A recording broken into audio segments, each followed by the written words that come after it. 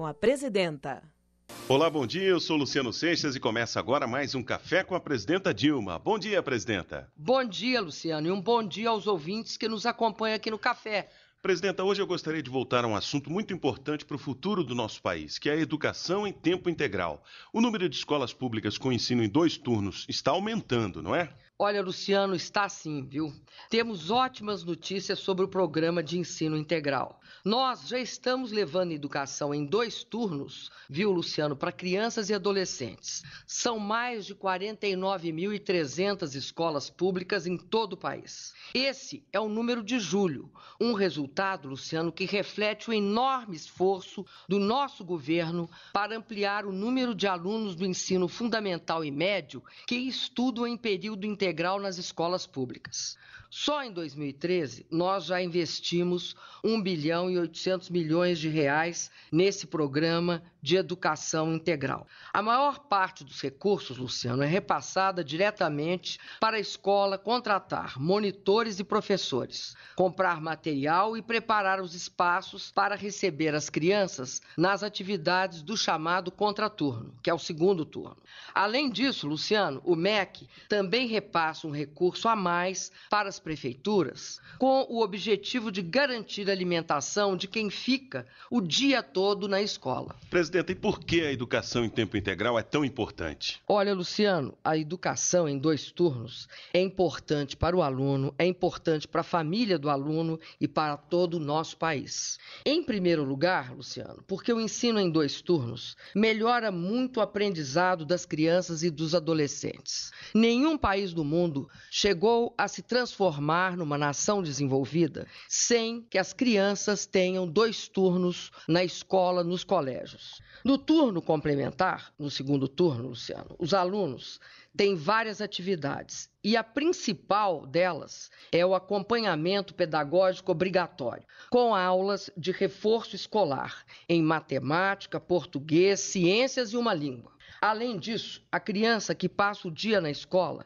está mais bem cuidada e mais orientada, o que é uma tranquilidade para toda a família, especialmente para as mães, né, Luciano? Pode também praticar esportes e participar de atividades culturais, Luciano. Isso ajuda a melhorar a disciplina e a concentração. Sabe, Luciano, o principal caminho para o desenvolvimento sustentável, para a valorização da própria sociedade brasileira, reduzindo as desigualdades, é a educação dar a todas as crianças as mesmas chances, desde cedo, as mesmas oportunidades, é isso que significa desenvolvimento sustentável. Por isso, nossa meta é chegar com a educação em dois turnos a 60 mil escolas até 2014. E a nossa prioridade, Luciano, tem sido as escolas, onde estão as crianças mais pobres, que são aquelas que recebem o Bolsa Família, como você sabe. Quantas escolas com maioria de alunos do Bolsa Família estão no programa de ensino integral Mais Educação, presidente?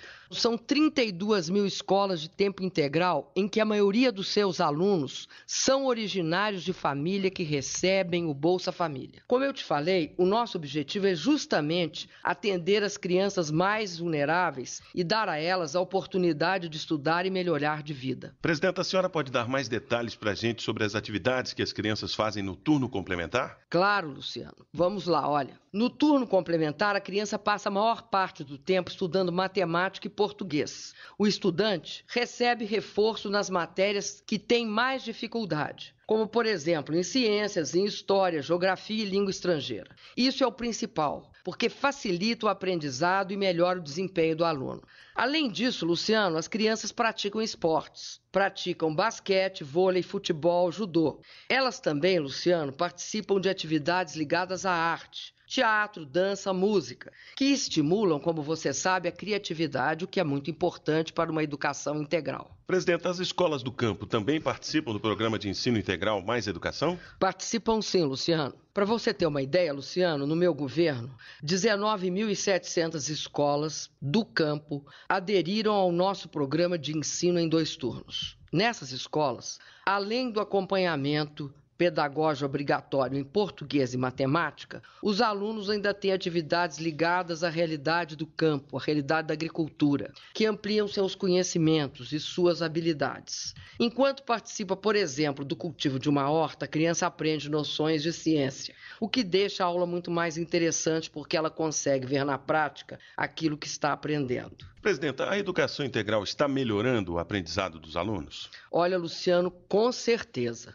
Temos muitas histórias de sucesso de escolas que implantaram o ensino em dois turnos e deram um salto de qualidade, o que acaba sendo refletido no Índice de Desenvolvimento da Educação Básica, o IDEB. Isso se deve aos dois turnos, Luciano, e à qualidade dos professores também. Veja o que aconteceu, por exemplo, com a Escola Municipal Beatriz Rodrigues da Silva de Palmas, no Tocantins, que há quatro anos participa do programa de ensino em dois turnos de ensino integral mais educação. Hoje, Luciano, essa escola oferece atividades complementares para 468 estudantes do segundo ao sétimo ano.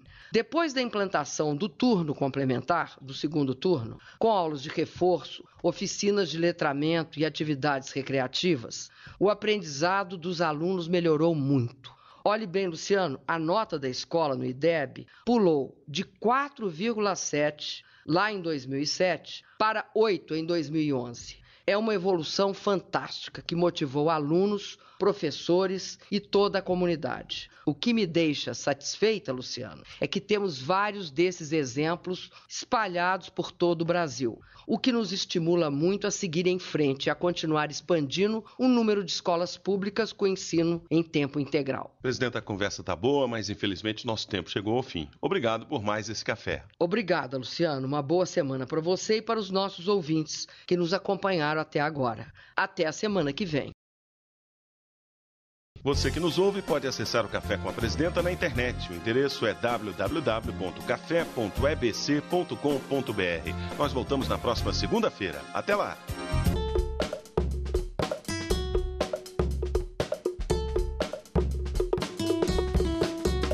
Café com a Presidenta.